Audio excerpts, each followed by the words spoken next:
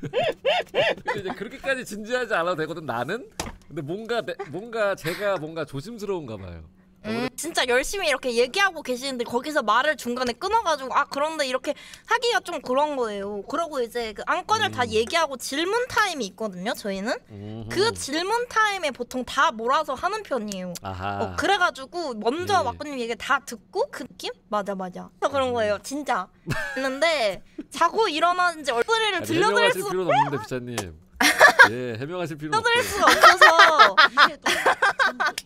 대답을 알아주셨으면 좋겠습니다. 어, 이런 목소리를 저의 들려드릴 진심을. 수가 없어서 아 자고 일어났을 아, 때 이게 그 예를 들면은 불렀는데 바로 이 대답 안 하고 뭐 대답 안 아닙니다. 이거 대처진 목소리라서 네 왁구님 이렇게 말하는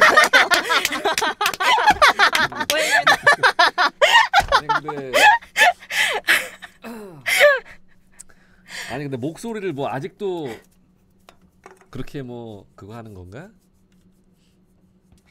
나는 다 그냥 나는 멤버들 목소리 다 다 들었다고 생각했는데 아니었던 거야. 아 뭐야? 저희 대처진 목소리도? 상관없으시다면 그래서 뭐 들려드리겠습니다. 음.